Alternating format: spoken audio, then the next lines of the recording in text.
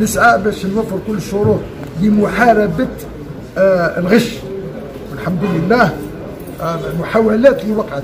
الآن كل المواطنين متأكدين باللي الدولة ما عادش عندها آه ضلع في, في, في, في الغش اللي وقع.